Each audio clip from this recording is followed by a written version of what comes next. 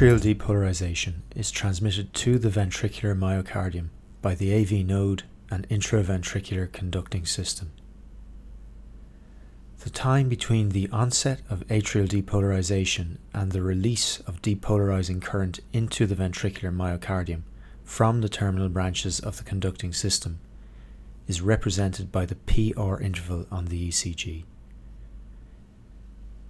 Dysfunction of the AV node or diffuse damage to components of the ventricular conducting system can result in a delay or even failure of transmission of atrial depolarization into the ventricular muscle mass. This situation is referred to as atrioventricular or AV block. Three degrees of AV block are recognized. In first degree AV block, all P waves are transmitted to the ventricular muscle mass, and therefore all are followed by a QRS complex. However, the time taken for conduction into the ventricular myocardium is prolonged. First degree AV block is defined by transmission of all P waves to the ventricular myocardium, but with prolongation of the PR interval beyond the upper limit of normal of 0.2 seconds on the ECG. Second degree AV block is defined by failure of conduction of some P waves into the ventricles.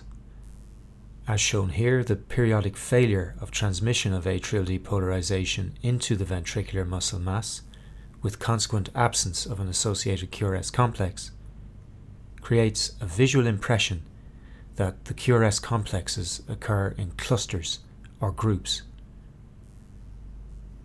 this is what we mean when we use the term group or groupings in this video. There are two major subdivisions of second degree AV block, Mobitz type 1 and Mobitz type 2. The distinction is important as they are associated with very different outcomes for the affected patient. Mobitz type 1 second degree AV block is the so-called Wenckebach phenomenon. Looking at this rhythm strip, the QRS complexes appear to occur in groups, and on closer inspection we find that isolated P waves are periodically failing to depolarize the ventricles. With periodic failure of P wave transmission to the ventricular myocardium, this is a case of second degree atrioventricular block.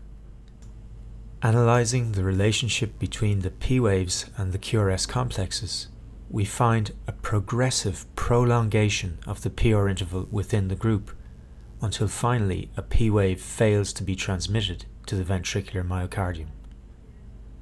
This progressive prolongation of the PR interval preceding a non-transmitted P wave is the defining characteristic of Mobitz type 1 second degree AV block. The phenomenon is usually caused by increasing prolongation of the conduction time within the AV node. Mobitz type 1 second degree AV block may occasionally be associated with symptoms, but is considered clinically benign in the sense that it has a low rate of progression to complete AV block. In Mobitz type 2 second degree AV block, again by definition there is an intermittent failure of conduction of P waves to the ventricular myocardium. However, unlike the Wenckebach phenomenon, there is no progressive prolongation of the PR interval before the non-conducted P wave. Analysing this trip, we note that within the groups, the PR interval is constant. With intermittent failure of P wave conduction and a constant PR interval, this is Mobitz type 2 second degree AV block. You'll also notice that within each grouping there are four P waves, three of which are conducted to the ventricular myocardium. This is Mobitz type 2 second degree AV block with a conduction ratio of 4 to 3. Unlike Mobitz type 1, Mobitz type 2 carries a significant risk of progression to complete AV block and is therefore associated with a significant mortality in the absence of intervention. We should point out that the conduction ratio in second degree AV block, and therefore the size of the groups, varies between patients, and as shown here, may even vary between groups in a single patient. In the presence of very high conduction ratios, differentiating between Mobitz type 1 and type 2 can be a much more challenging task than we've illustrated so far. Making the call matters because the difference in underlying pathophysiology is reflected in a markedly different prognosis for the patient. As shown here, in second degree AV block with high conduction ratios, the groups may be so large that full groupings are not demonstrated on a standard rhythm strip. Furthermore, and more importantly, in the case of Mobitz type 1 with high conduction ratios. After the first few beats, the degree of progression in PR interval length within the main body of the group can be so small as to be imperceptible. The key to making the call between type 1 and type 2 in a case such as this is careful analysis of the PR interval around the time of the non-conducted P wave.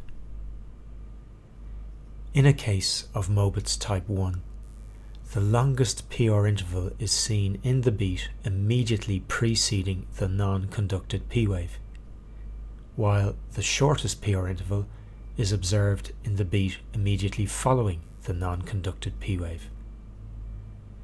Also, the largest change in the PR interval is observed between the first and second beats following the non-conducted P wave. Despite the apparent uniformity of the PR intervals within the main body of this group, analysis of the PR intervals around the time of the non-conducted P wave indicates that this is a Mobitz type 1 second degree AV block. This situation is termed atypical Mobitz type 1. Just one further point before we move on. Looking at this rhythm strip, you would be forgiven for thinking that we are dealing with a case of second degree AV block. And with a constant PR interval before and after the non-conducted P wave, you may suspect that this is Mobitz type 2. In fact, you would be wrong. This is a non-conducted premature atrial contraction. Ectopic atrial discharges may not be conducted for a variety of reasons.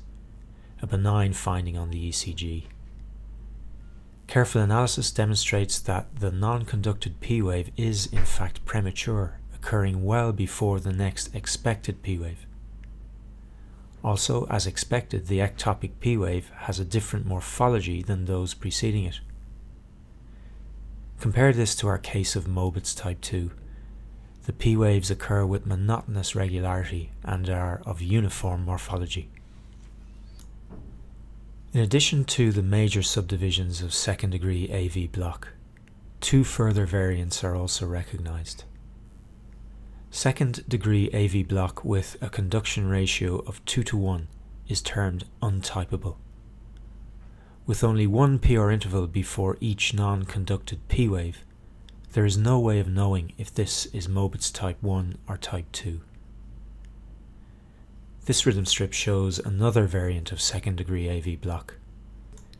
High grade second degree AV block exists when at least two consecutive P waves fail to conduct to the ventricular myocardium. In third degree or complete AV block, no P waves are transmitted to the ventricular myocardium. When this problem arises secondary to diffuse damage of the conducting system, a ventricular focus will take over pacemaker function, driving ventricular depolarization. The escape rhythm generated will be broad complex and will vary in rate between 20 and 40 beats per minute. At this stage, you should be able to spot the AV dissociation evidenced by the presence of regularly occurring P waves which show no fixed relationship with the QRS complexes. The distance between P waves and QRS complexes varies continuously, and some P waves are buried in components of the QRS complexes, while others are fused with the T waves.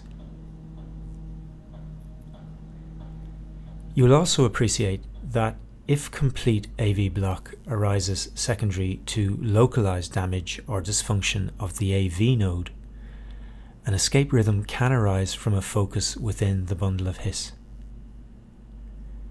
As depolarization from this focus enters both branches of the bundle of His, the rhythm generated will be narrow complex.